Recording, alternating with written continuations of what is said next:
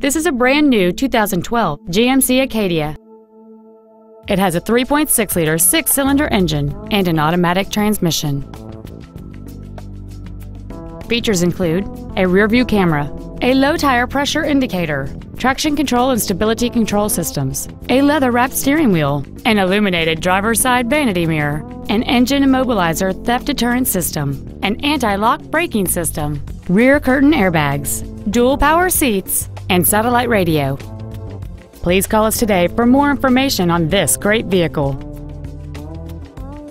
Hi, I'm Mark Labadie, and I'd like to personally thank you for visiting our website.